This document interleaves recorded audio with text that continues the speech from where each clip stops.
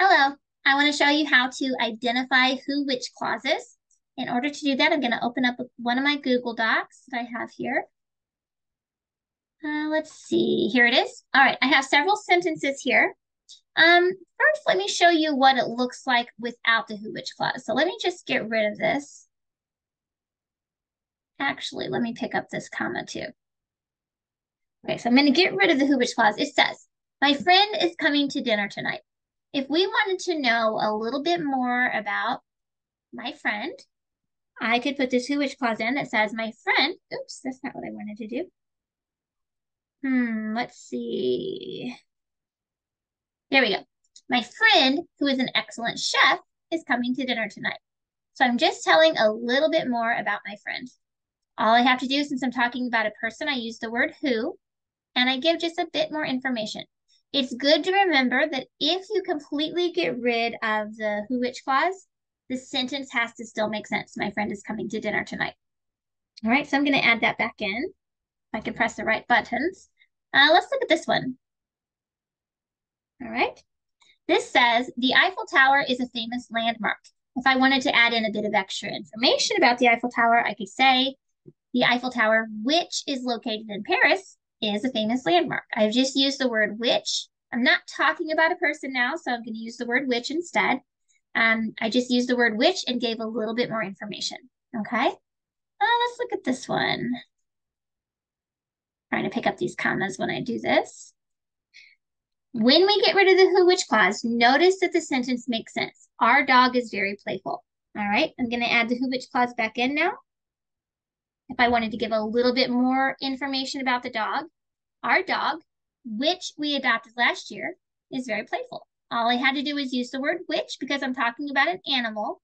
If it's a very close pet, you can use the word who, especially if you use the dog's name like um, Fido, who we adopted last year, is very playful. If he's a very close friend of yours, you can use the word who. Um, another time you can use the word who for animals is if you're telling like an Aesop's fable or a story where the animals talk or where the animals behave like human beings, like the tortoise and the hare.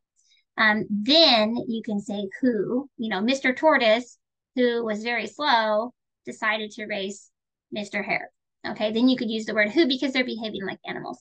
But normally, when you talk about animals or any kind of object, you use the word which. Um, places you would also use. So you know how we do people, places, and things for nouns. Um, places and things, you would usually use the word which, and people, you would use the word the word who. Let's look at this one. Let's get rid of the who which clause first, and we'll see if it makes sense. Oh, I keep doing that. I'm not even sure what I did. Hmm. That's not what I wanted to do. Huh. I'm not sure what I did, but Let's see here. Which one am I doing? Okay, Jane's new car. And let's just talk about the car at first. I gotta remember to hit the right button. Jane's new car is parked in the driveway. Okay, let's say a little bit more about her new car. What can we say? Um, this says, which is red and shiny. We wouldn't have to say that it's red and shiny.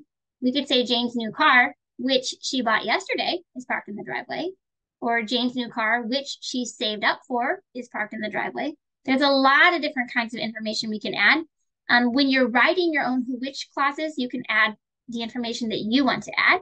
Um, but the point here is just to be able to identify them. You can find the word who or which, and you can tell what is the extra bit that's being added. It goes all the way to the word chef. If we took this out, we'd have a good sentence. So we know this is our who which clause right here. Who who what? Who is an excellent chef? Which what? Which is located in Paris. Okay. Um, the first four of these have commas before and after the who which clause, but you won't always have that. Sometimes you'll have, mm, I don't know, it might be a little bit too early to get into talking about essential and non-essential who which clauses, but just know for now that sometimes you'll have commas and sometimes you won't. The girl is my cousin. Which girl? The girl who won the contest is my cousin. The reason this one doesn't have com- commas is because we don't know which girl you're talking about unless you say the girl who won the contest. Now we know which girl you're talking about. Because if you just say the girl is my cousin, it could be any girl in the world. Um, This one says the car was very expensive. Which car was very expensive? The car which he bought last week. So here's your who which clause. Um, the movie was incredible. Which movie was incredible? The movie which we watched last night. And then the teacher is Mrs. Ms. Smith. Which teacher is Ms. Smith? The teacher who teaches math. So that's just how to identify your who which clauses. All right, so they're going to all begin with the word who or which, at least for now. And um, you should be able to remove the who which clause out of the sentence and the sentence should still make perfect sense. Okay, so that'll help you identify them. All righty, sorry I'm so bad with technology.